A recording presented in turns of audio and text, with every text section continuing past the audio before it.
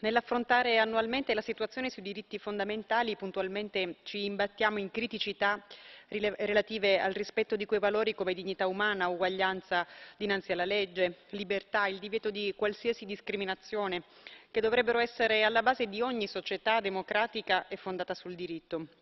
Anche in questa relazione, per citare alcuni dei temi essenziali trattati, vengono messi in luce fenomeni ben presenti in diversi Stati membri. Parliamo di razzismo, xenofobia, gravi e diffusi atti di violenza nei confronti di donne, migranti e minoranze, attacchi allo Stato di diritto, alla libertà di espressione e dei mezzi di informazione.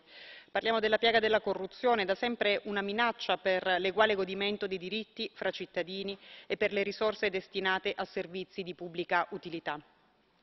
Già in passato avevo fortemente sostenuto la necessità di istituire un meccanismo europeo di monitoraggio idoneo a prevenire e contrastare le violazioni dei diritti fondamentali dell'Unione Europea.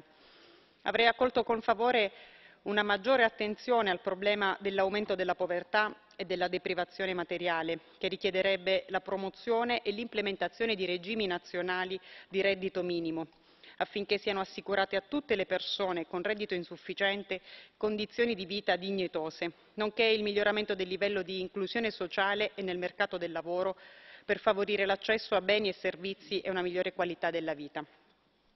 L'azione politica dell'Unione in campo economico e finanziario dovrebbe infatti privilegiare la tutela dei diritti fondamentali rispetto agli interessi del mercato e alle politiche di austerità a spese dei cittadini.